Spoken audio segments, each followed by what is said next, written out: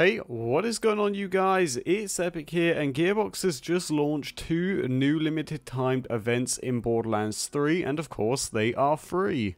The first of which is making it so that now loot goblins and chest loot scripts and they're, they're all going to be way more common. But in this video we're going to be focusing on the other one which is the return of rare chest riches. If you don't know what Rare Chest Riches is, it's basically a limited timed event where you have an increased chance to get higher quality loot from chests, which obviously is really awesome. So I thought in this video I would compile a list or just a compilation of my favourite chest farms for when this is around within the new DLC. If you guys want to see my favourite farms for base game, then do let me know, or even for DLC 1, but this is going to be covering DLC 2, Guns, Love and Tentacles. So without wasting any time, we are here in the Canker Woods, and you probably already know why we're here. So my first favourite chest farm is the Wendigo skip chests and if you don't know how to get the Wendigo skip to work I do have a video on my channel. I'm not going to break it down right now because it would take too long but yeah you see I just did it there. It took like what 10 seconds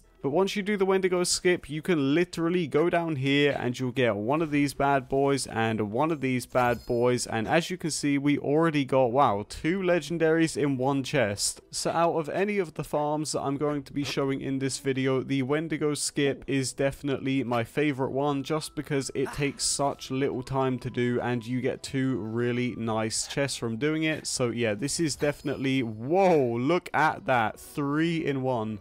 Yeah, so this is definitely my favorite one of all of them and it is super easy to do. Again, if you want to know in detail how to do that Wendigo skip, I will leave a link in the description down below to my tutorial.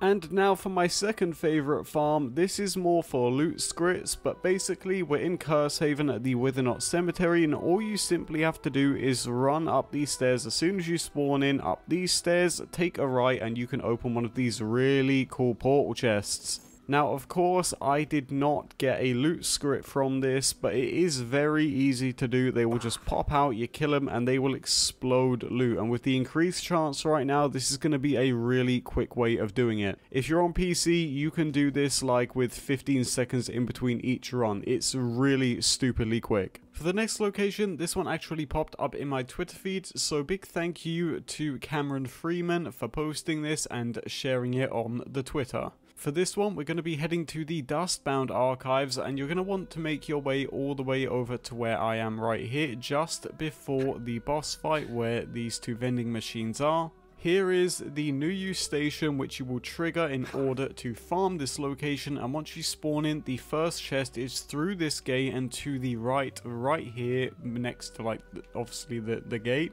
Another chest can be found to the left of the New-U station. This one is usually up against this glass window here. It doesn't always spawn, so if it doesn't, you can also check the other side right here, but sometimes it won't spawn. Once you've checked them locations, come inside and take an instant left, and up here you will find another chest in the corner. After that, you can run through into the main kind of central area right here, take a left and go up onto these monitors and climb up onto here to see a red chest. So you can open that red chest for some easy legendaries as you can see, kabam, and then turn around and you've got a portal chest right here with the chance of getting a loot script pop out. So uh, yeah, I did not find this. This is just something that happened to pop up in my feed while I was browsing Twitter, and yes, so I'm not taking credit for it, but a big thank you to Cameron Freeman for posting that. So for the next farm, we're going to make our way completely through the whole of Negul and I'm going to show you on the map where we are right here. We are right at the end. You're going to have to come all the way to the end here, and we're going to be fighting the final boss of the Negul area, which we did see in the main story. And you're probably thinking, Epic, what does fighting a boss have to do with getting better loot from a chest? And well, I'm going to show you. So the Empowered Grawn is the dude that I am talking about, and he is really, really easy to take down. So yeah, this dude does not take long to take down at all. And as you can see there, I didn't get anything from him, but that's not why we are actually killing him. But if you do want to kill him, he does drop some pretty cool stuff as well. But anyway, the, the point is here, once you kill him, just run towards the back of the room, go up these stairs and through this hallway right here, and then turn right and Boom, you've got a red chest here and also one of these smaller chests. And as you can see, yes, I did indeed just get a boatload of legendaries. So again, look, you can see here, I got a bunch of world drops like the Anarchy right here. I also got some cool stuff like, again, the Lunacy Relic. And once again, this took no time at all. I can just go out the back and once more, look, I have this chest here and this chest here, which have an insanely high chance to drop me legendaries. Now, I know that I said that the Cankerwoods Wendigo Skip chest farm is probably my favorite, but I, I, I think this one takes the cake. This one is pretty dope. So I was also going to show off the 7 chest run in Negul Neshai, but unfortunately that one is a little bit bugged on PC. It's kind of hard to get working flawlessly, so that's probably going to be its own video. But yeah, this is probably your best bet at getting chests during this new event.